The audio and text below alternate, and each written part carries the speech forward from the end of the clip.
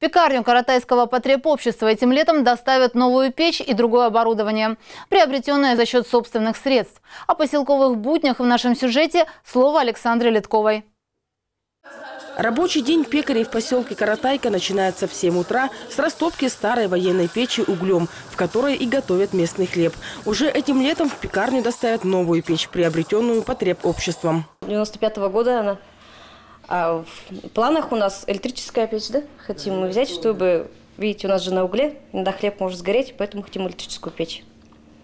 Она у вас уже закуплена уже, все, будем ждать. С новой печкой доставят и современный тестомес, и миксеры. Сельская пекарня находится в здании, построенном в 1984 году. Сейчас здесь трудятся три пекаря. В день в Каратайке выпекают по 200 буханок хлеба и другие хлебобулочные изделия. Плюшки очень хорошо любят. Ватрушки с ягодой, с морожкой, с брусникой, с голубикой. Аромат свежеиспеченного хлеба начинает разноситься по поселку ближе к обеду, а в магазине разбирается моментально. Не радует председателя местного потребобщества Татьяну Хатхе только свалка, которую устроили жители соседнего с пекарней дома. Это вот жильцы 12-квартирного и еще местные, ближайшие. И рыбу кидают, и гусей, и все. Вот собаки постоянно бегают. Около домов-то убраться не могут. Вот вы посмотрите. Эти дрова, они постоянно лежат. И ничего не ремонтируют, они все гниют только. Около домов люди уже давно отвыкли убираться. В свою очередь глава сельского совета Дмитрий Вылка заверил, что уборка всей территории поселка проводится ежегодно. Вот только-только снег сошел, вот только-только снег сошел. Сейчас у меня будут вместе, вместе, вот сейчас э, все жители убирают в этих домов. Одна из проблем Каратайки не нова. Впрочем, как и для ряда других окружных поселений. Ржавые бочки, сломанный транспорт годами лежит на их территории. Вон свалка у ЖКУ. Каждое лето приходит судно, оно вывозит. Но это ничего не вывозится. Это все валом лежит. Региональным оператором по вывозу ТБО из Каратайки и других сельских поселений, за исключением поселка Красная и села Тельвиска, является муниципальное предприятие Заполярного района «Севержилкомсервис».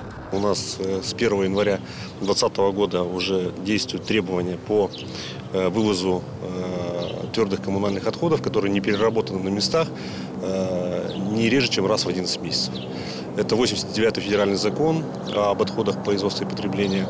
И на сегодняшний день, то есть в рамках, в рамках этого закона, региональный оператор, коим является в сельских населенных пунктах Севержилкомсервис, обязан вывозить эти отходы, которые они собирают от населения, юридических лиц, раз в 11 месяцев. Такой подход к вывозу мусора окружные парламентарии считают неэффективным. Ранее ими были разработаны поправки в федеральный закон, которые предполагали вывоз мусора не реже, чем раз в 36 месяцев, что позволило бы снизить стоимость услуги. С инициативой мы выступали в Совете Федерации э, на днях Ненецкого автономного округа. Ну, вот, э, инициативу эту правительство не поддержало. Э, сейчас мы готовим вторую инициативу, будем выходить с ней во втором полугодии текущего года. Соответственно, она предполагает уже вывоз мусора не реже, чем раз в 12 месяцев, то есть цикл год. Да? И таким образом мы говорим о том, что региональный оператор будет ну, так скажем, в рамках правового поля э, сможет действовать и увозить этот мусор нормально, да, не нарушая сроки. Еще одна особенность поселения, которая бросается в глаза сразу по прилету в Каратайку – большое количество собак, которые гуляют сами по себе. Постоянно бегают, и, и закона-то нормального нет. Стрелять нельзя. А как если свадьба началась, так на одну шавку прибежит вся деревня. И они везде ходят. Дети даже боятся в школу иногда идти. Потому что такие табуны носятся.